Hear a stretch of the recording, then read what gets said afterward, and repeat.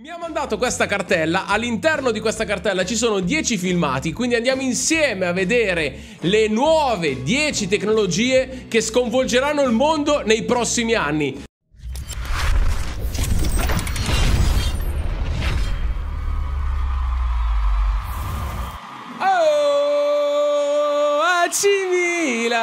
Ciao a tutti fratelli e sorelle, bentornati, benvenuti nuovo video qua sul canale Lorenzo Lollo. C'avevo voglia di girarvi questo video ragazzi, non so perché, forse perché è il momento che c'è tutto com completa piatta, mare completamente piatto, non succede niente, non arrivano giocatori, l'ambiente è in completo di, di ribollizione perché non sta succedendo, succedendo niente. Allora c'avevo voglia di venire qua a girare un video con voi, magari vi strappo qualche, qualche sorrisino. Allora, un sacco di notizie ragazzi. Prima però vi volevo ringraziare perché l'altro giorno vi ho detto ragazzi, dai dai dai che arriviamo a 25.000. In questo momento siamo a 24.890. Quindi mancano 10 iscritti per arrivare a 24.900 e poi solo 100 per poi fare la mega festona dei 25-25.000. Dai raga iscrivetevi che non vi costa assolutamente niente. Tra l'altro poi chiudo con le notizie di, con le notizie di servizio. È uscito il nuovo video sul secondo canale, le 10 tecnologie che sconvolgeranno il mondo. Nel primo commento trovate il link, andate a vederlo, commenti, iscrizione al canale di là, veramente siamo a un passo dai 10.000. Grazie di cuore raga, non so come ringraziarvi. Mi seguite in tutte le mie pazzie, live, canali, secondi canali, grazie di cuore ragazzi. Stiamo viaggiando veramente alla grande, grazie di cuore a tutti per il supporto. Allora, prima di entrare nella notizia di giornata, come sempre vi do una pre-notizietta. E la pre-notizietta qual è? Serie A 24-25, il calendario il 4 di luglio. Come comunicato dalla Lega Serie A, il nuovo calendario sarà svelato il 4 luglio alle ore 12. Tra l'altro ricordo a tutti, non fate come me, che ho prenotato le ferie dal 10 al 17 agosto, faccio una settimana in crociera e il, il campionato di Serie A inizia il 18, quindi meno male. Pensavo iniziasse il 17, avevo già l'ansia, capito? Cioè, di, di, che arrivavo con la nave e dovevo andare direttamente a vedere la partita, la partita del Milan. Quindi ragazzi, prima partita di Serie A sarà il 18 di agosto, però sapremo contro chi lo scopriremo solo il 4 di luglio alle ore 12 e ci sarà appunto l'estrazione. Ma la notizia di giornata è questa. Milan, ecco Fofana, ma addio ad Isma Benasser. Come riportato dalla Gazzetta dello Sport in edicola, allora questa notizia si divide in tre notizie, ok? Questa news si divide in tre notizie, adesso ve le leggo tutte e tre. La prima è questa. Come riportato dalla Gazzetta dello Sport, che ho letto questa mattina eh, al bar mentre stavo bevendo il caffè, conferma tutte le news già riportate, cioè che Fofana è vicinissimo a diventare un giocatore del Milan. Quindi il Milan è pronto per rifarsi il centrocampo. Il francese ha già salutato Monaco e preferisce i rossoneri alla Premier. Molto bene, benvenuto Yusuf Fofana. Pronta un'offerta da 25 milioni di euro che il Monaco con tantissima probabilità accetterà. E Benasser, però, dove va? Potrebbe finire in Arabia. Adesso arriviamo alle altre notizie riguardo ad Isma. Una ricca proposta permetterebbe al Milan di rientrare nell'investimento per Fofana e di risparmiare sui 4 milioni di euro di ingaggio di Isma. Si ascolteranno offerte anche per, anche per altri giocatori come per Adlipo, Bega, eccetera, eccetera. Quindi il nuovo centrocampo rossonero probabilmente sarà composto da Yusuf Fofana, Reinders dietro a Ruben Loftus-Cheek, Pulisic e Leao davanti e speriamo che il numero 9 davanti sarà Joshua Zirze. Vi aggiungo dei pezzettini alla notizia, come riportato dalla Gazzetta dello Sport, quindi un'altra notizia che conferma ancora di più. Fofana è vicinissimo al Milan, contratto, contratto in scadenza nel 2025, il giocatore e, e la squadra sono pronti a dire di sì al Milan e quindi il giocatore è pronto per sbarcare in Italia. In tutto questo, come vi raccontavo prima, c'è collegata anche la notizia di Isma Benasser. Perché? Come riportato da Pedullah, per Benasser ci sono state, ci sono diverse sirene arabe. Oggi ci sarebbe stato questo summit, c'è stato, lui dice che c'è stato, quindi prendiamo per buono ovviamente quello che dice Pedullah. Eh, c'è stato questo summit, tra l'altro della durata di 4 ore, quindi anche la durata, lui ci spoilerà sta cosa, il fatto che il, il summit sia durato 4 ore e, e, vuol dire che qualcosa c'è. Qualcosa in pentola sta ribollendo. Perché se fosse un summit da 4 minuti, eh, ciao, vuoi venire da noi in Arabia? No, ho finito. Invece il fatto che abbiano parlato per 4 ore, gli agenti e questi emissari delle squadre arabe, vuol dire che, ripeto, qualcosa comunque sta succedendo. Se no, non stanno lì 4 ore, 4 ore a parlare. Vabbè. Allora, concludo. Eh, vabbè, ra, Yusuf Fofana, l'abbiamo già detto tante volte, è un giocatore che addirittura io per qualche, eh, a larghi tratti o per qualche sfumatura preferisco addirittura ad Edren Rabiot perché comunque cioè, è proprio l'incarnazione, Yusuf Fofana è proprio l'incarnazione del giocatore che a noi serve lì davanti, visto che quest'anno abbiamo preso schiaffoni a destra e manca e per larghi tratti abbiamo preso tre gol anche da tutti, anche da tutti abbiamo preso tre gol, a noi serve non soltanto sistemare la difesa, ma serve anche qualcuno davanti alla difesa, bello grande, grosso, da mettere lì in mezzo e fare quello che cerca in qualche modo di tamponare gli attacchi e questa cosa la risolvi in due modi. Uno, sistemandoti tatticamente, perché tatticamente, raga, quest'anno, tatticamente, cioè quest'anno inteso come stagione appena conclusa, è stato tatticamente alcune partite veramente un disastro. E l'altro, invece, l'altro discorso è che non, non avevamo in rosa neanche centrocampisti con le caratteristiche difensive, quindi dei mediani davanti alla difesa. Ecco, Yusuf Ofana, e qua concludo, Yusuf Ofana è esattamente il prototipo del giocatore che a noi serve da metterli davanti per evitare di prendere ancora gli schiaffoni. e, e, e il mio cuore rosso-nero sarebbe molto molto contento di non prendere più gli schiaffoni. Allora ragazzi, adesso per chi mi ha seguito fino adesso su TikTok Grazie di cuore, bella, grazie anche a voi Perché ieri, oltre ai 50.000 visualizzazioni che facciamo ogni giorno Ieri anche su TikTok abbiamo sfondato gli 8.100 iscritti al mio profilo. Quindi ragazzi, continuate ad iscrivervi.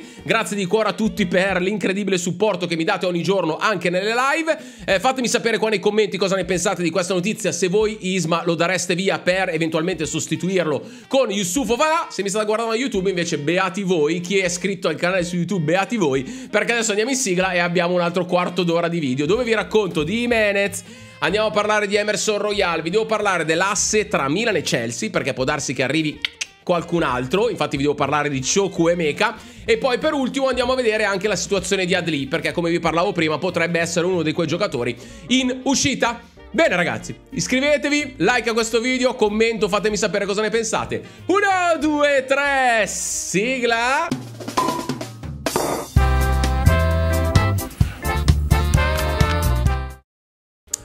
Oh, Yusuf Fana! Allora, parto da una cosa, ok?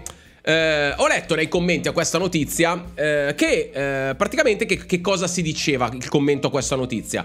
Perché la Gazzetta dice che eh, vendendo Isma Benasser, il Milan potrebbe andare a comprare, a riversare tutti i soldi che prende per Isma, a riversarli completamente su Yusuf Ofana. I commenti sotto a questa notizia erano Ah ma come? Abbiamo sempre detto che il Milan i soldi ce li ha Non ha bisogno di vendere nessuno per prendere nessuno E adesso viene fuori che dobbiamo vendere eh, Isma, Is Ismael Berasser Per prendere Yusuf Ofana Io credo che a, al di là di come liberamente ognuno può eh, narrare la notizia il senso, secondo me, di quello che scriveva la Gazzetta era il Milan che, ovviamente, ve lo ricordo, ve lo dico, ve lo ridico ancora un'altra millesima volta, non ha bisogno di vendere nessuno per comprare nessuno, ma se riesco a vendermi Isma Benasser agli arabi, che gli arabi pagano 40 milioni di euro, anche Mr. Pennello, scusa quanto costa Mr. Pennello? 40 milioni, cioè pagano tutti, vuoi non prendere 40 milioni per Isma Benasser? Se dovessimo essere così bravi a vendere Isma Benasser a 40 milioni di euro, vuol dire che tu ne spendi 25 per Yusuf Ofana e ti ballano fuori gli altri 15 da dare alla gente. alla gente di Zirzei Kia Joran Chan? Per chiudere sta benedetta trattativa, ragazzo già veramente gli ingranaggi, me li trascino, cammino e gli, mi, mi, mi, trascino dietro le P, me le trascino dietro su sta storia di, di, di Zirze, ragazzi. Io spero, come vi ho detto ieri, poi ieri in live ne abbiamo parlato ampiamente, tra l'altro chi, chi, non viene in live, raga, non sapete cosa vi perdete. Tutti i giorni, dal lunedì al venerdì, più o meno, quando riesco, dalle 17 alle 18.30 siamo in live, a parte che ci facciamo un sacco di risate, ragazzi. Ma Ieri abbiamo parlato tanto di questa cosa, raga. Abbiamo parlato tanto di, di, di Zirze. Abbiamo parlato tanto del fatto che sono ampiamente deluso. Dal fatto che mi aspettavo che la punta venisse chiusa ben prima del raduno che c'è tra pochi, tra pochi giorni. Perché comunque tu, comunque. Ok, qualcuno ieri mi ha scritto. Vabbè, ma tanto anche se chiudevi Zirze non c'era. Sì, ma Zirze è andato agli europei perché si è fatto male quello là. Adesso non mi ricordo perché è andato agli europei. Che tra l'altro non ha manco giocato. Non ha ancora manco giocato un minuto agli europei. Ma ci è andato per quello, ragazzi, non perché per, per, per altri motivi. Però il Milan, che sapeva da novembre, come vi dicevo ieri, che eh, non avresti avuto eh, Oliviero Bombervero, probabilmente l'attaccante avresti dovuto chiuderlo, non vi dico a febbraio, ma arrivare adesso a fine di questa stagione, cioè praticamente tra un giorno, tra un giorno o due dovresti, dovevi avere già chiuso l'attaccante. E vi ripeto quello che vi ho detto ieri, magari l'hanno fatto e noi e nessuno lo sa, eh. lo scopriremo solo, solo vivendo, lo scopriremo solo dal primo di luglio. Non credo, perché sennò le notizie sarebbero uscite. Però, visto che il Milan comunque non fa uscire una singola vite, una singola notizia su tutto quello che sta facendo, non mi sorprenderei che dal primo luglio il Milan dichiari oh abbiamo preso Zirze e abbiamo pagato questo, non lo so, eh, sto ipotizzando. Non credo, però non mi stupirei se dovesse succedere questa cosa. Capito che comunque non esce nulla e quindi potrebbe anche succedere che hanno già fatto tutto, eh, non lo so. Allora, andiamo su... Eh, G Jimenez, perché Jimenez? Perché come riportato da Fabrizio Romano, quindi ovviamente notizia super certificata, il Real Madrid potrà ricomprare Jimenez fino eh, al 2028 per 9 milioni, quindi ricomprarlo, quindi la recompra è di 9 milioni nel 2025 o di 12 milioni nel 2026. Nel caso non dovessero riscattarlo, il Milan poi insomma potrà, potrà eventualmente tenerlo. È giovane, va, gli va fatta fare esperienza, va fatto giocare. Tante cose, ragazzi, tante, tante cose, tante cose. Vabbè. Sono contento comunque, raga, Jimenez secondo me è un buon giocatore, deve, deve ancora maturare, eh. Però niente di che, niente di sta... Cioè non sono qua con le bandierine, eh. Però, vabbè, a me piace Jimenez. Poi arriviamo ad un giocatore che a me invece non piace assolutamente e chi è? Il Milan interverrà anche in difesa. Per la fascia destra il preferito rimane sempre Emerson Royal, che a me non piace. L'altro obiettivo è un centrale di difesa mancino, ok? Eh, ah, tra l'altro poi vi devo raccontare di, di, di, stamattina una roba. Adesso ve la racconto. Finisco questa cosa, poi vi racconto cosa è successo stamattina. E... e niente, praticamente, vabbè, Emerson Royal che a me continua a non piacere, continua a non convincermi. Al Milan non lo so se questa trattativa è vera o non è vera. C'ha delle basi di, di veridicità oppure no. Non ne ho la più pallida idea. Io spero che alla fine non venga preso Emerson Royal, ma andremo su altri obiettivi. Difesa centrale di difesa Mancino. Eh sì, io qua su questo canale lo dico da mesi che il centrale che dobbiamo prendere deve essere un centrale mancino che gioca sulla sinistra, perché in fase di impostazione se hai un centrale mancino fai eh, una giocata, quindi risparmi una giocata perché gioca di mancino, ok? Allora, cosa è successo stamattina? stamattina mi sveglio, sono andato al bar a leggere la gazzetta, prima, prima di andare al bar mi sveglio eh, vado a bere il caffè prima di andare a bere il caffè, guardo il telefono e avevo tipo un miliardo di messaggi.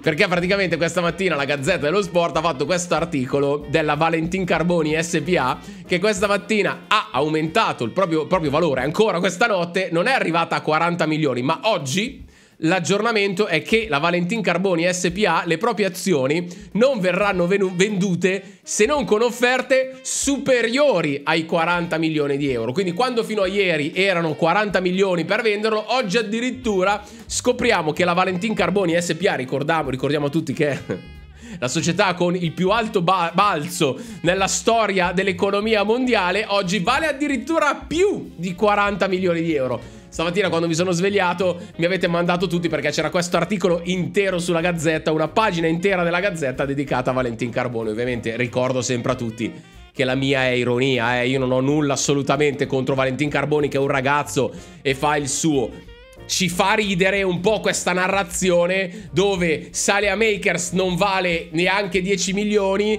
Daniel Maldini addirittura 4 milioni e Valentin Carboni, che è la riserva di Daniel Maldini, vale 40 milioni. va bene, va bene, ne prendiamo atto. Noi non siamo bravi ragazzi a fare quelle cose lì. Dite quello che volete ragazzi, ma noi a livello mediatico, noi cuori rossoneri, noi non siamo bravi a, a, vendere i nostri prodotti così. Parlo a livello mediatico. Noi non siamo bravi a venderli così, ragazzi. Cioè, ci sono giocatori del Milan che se avessero la spinta mediatica, non parlo della Gazzetta, eh, sto parlando in generale. Ci sono giocatori del Milan che se avessero la spinta mediatica, che magari hanno anche hanno altri giocatori che arrivano da altre parti, noi potremmo venderli. Cioè, raga, prendete eh, Salemakers. Cioè, Salemakers. Bologna, Bologna che va in Champions League, ha giocato, ha fatto dei gol incredibili. E come si fa a dire che non vale neanche 10 milioni se quello mi vale 40? Cioè, se Valentin Carboni vale 40, Salemakers ne vale 50. Cioè, Valentin Carboni ha fatto due gol. 19 presenze in Serie A in tutta la sua carriera. Ha fatto due gol. Salemakers quanti gol ha fatto in Serie A? Quante partite ha fatto in Serie A? Cioè, che poi Valentin Carboni sia un buon prospetto va bene, ma a noi manca quella roba lì, ragazzi. Noi non riusciamo a, a, a, a far sopravvalutare, passatemi il termine, a far sopravvalutare i nostri ragazzi dall'opinione pubblica. È vero, eh, fateci caso. I nostri sono sempre delle scartoffie lì, sì, a Salamico, sì, 6 milioni. Daniel Maldini, eh, dagli due, dagli due, scrivi che vale due. Capito? È un po' quella roba lì. Asse Milan-Chelsea. Eh, come riportato, bla bla bla, riparte l'asse Milan-Chelsea. Ci sono diversi giocatori interessati, tra i quali anche Choku Mecha. Mm, magari ci dedico domani un video meglio. Comunque, il Milan continua a trattare con il Chelsea l'acquisto o il prestito di Chukwemeka. Il, valore, il giocatore ha un valore tra i 15 e 20 milioni di euro, però il Milan potrebbe prenderlo con la pre... Vabbè, mm, vabbè, sì, vediamo ragazzi, vediamo, vediamo, vediamo. Bene, siamo in chiusura ragazzi, allora fatemi dire due cosine prima di chiudere. Allora, grazie, grazie, grazie veramente ragazzi, avete visto che sono tornato a fare le, le, live praticamente quando posso perché non vado a prendere il bambino eh, quando posso tutti i giorni dalle 17 alle 18.30 e raga volevo ringraziarvi perché comunque stanno andando benissimo l'appoggio che mi date ragazzi è, è tantissimo sia sulla piattaforma rossa qua su YouTube siete in tantissimi sulla piattaforma viola, in tantissimissimi su TikTok, ragazzi. Eh, sfondiamo i 10.000 like ogni volta su TikTok. Quindi, ragazzi, grazie veramente di cuore a tutti. E boh, grazie. Non so, più di così non so cosa dirvi. Continuate a seguirmi. Chi di voi, chi, chi fa parte di quel 70 e passa per cento e che guarda i miei video tutti i giorni, non è iscritto al canale qua su, su YouTube, eh, ragazzi, lo faccia perché almeno arriviamo a 25.000. Invece sulla piattaforma Viola, per chi non mi seguisse lì, il canale si chiama Lo Lorenzo Lolo Official. E anche si chiama nello stesso modo, anche su TikTok, il mio profilo si chiama Lorenzo Lolo Official e non faccio nient'altro che prendere i video, l'inizio dei video di, di, tutti i giorni su YouTube e carico i primi 3-4 minuti dalla, dall'altra parte e così poi li portiamo qua da noi e li facciamo entrare nella famiglia dei Milanisti Official su YouTube. Bene ragazzi, oh, grazie di cuore, buon sabato a tutti, questa sera alle 18 c'è l'Italia. Vediamo, vediamo, non ho nessun tipo di aspettativa sull'Italia, sinceramente. Perché? Vabbè, vediamo cosa succede. Ciao a tutti, Forza Milan e vado nel Kill Inter, ciao!